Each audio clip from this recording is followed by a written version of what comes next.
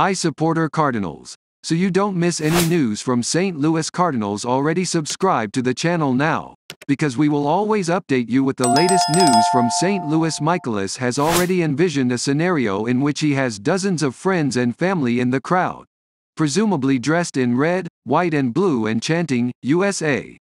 USA. USA. As he's on the mound for Team USA in the bottom of the ninth.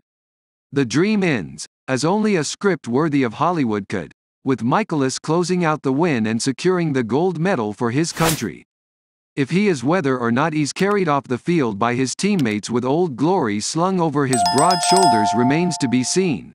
But Mikolas has already thought about what he might do with the prize that would come from a repeat victory for Team USA.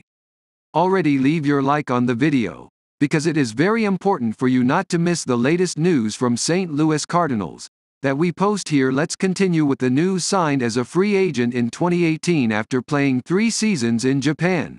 Mikolas went 18 to 4 and earned his first nomination in 33 games for a career high 22.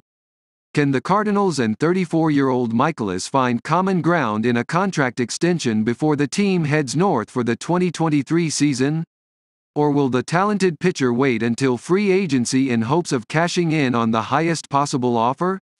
For these questions, Mikolas doesn't have a set roadmap and is rather coy about how things might play out. Hey fan what's his opinion about Mikolas? Put in the comments what you think.